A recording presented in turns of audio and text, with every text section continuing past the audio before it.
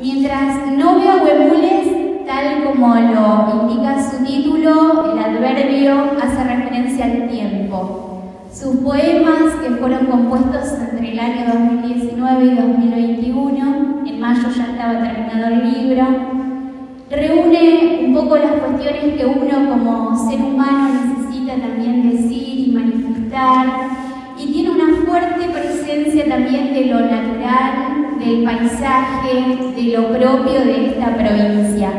Quienes amamos la naturaleza, la vida en la naturaleza, sabemos que cuando vamos al bosque, sobre todo quienes hacemos la visita a Chantén, vamos con el deseo de ver huemules. Díganme si no es así, nos ha pasado a todos.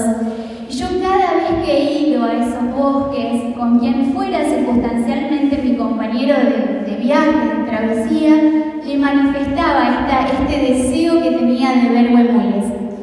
Llevo varios años transitando esos senderos y este año, el 24 de marzo de este año, justo al cumplirse cuatro años de ciclos culturales del Calafate B, que tenemos acá muchos amigos que nos visitan, de ese otro, eh, esa otra propuesta que hacemos, me encontré con uno de ellos, me encontré con un buen y para mí fue como la concreción de un sueño, de decir nada, lo que se sueña es posible de alcanzar.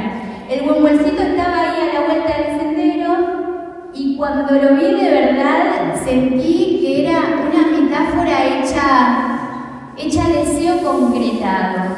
Y escribí así una cosita muy simple a la vuelta, al regreso, que dice esto. Hoy nos miramos como se mira por dentro, mientras corría un río por fuera nuestro. Vi como de las calles subía el remolino, avanzaba con fuerza en la nube marrón, como si una tropilla invisible fuera al galope a la conquista del lago.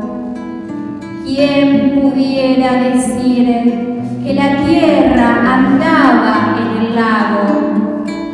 ¿Quién pudiera ver a través de mis ojos que eso era lo que me corría por dentro?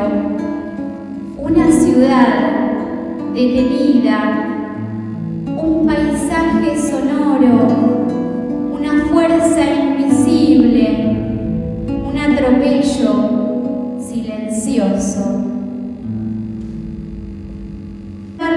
para mí viene siendo ya un, deseo postergado, les digo, porque este ejemplar iba a ser presentado en junio del año 2021, ¿sí? Y ya estamos en 2022 y bueno, eh, se hizo realidad el tiempo con sus vericuetos y sus situaciones, finalmente nos traen a los momentos más oportunos. Yo les quiero agradecer también a ustedes muchísimo la presencia, en este momento.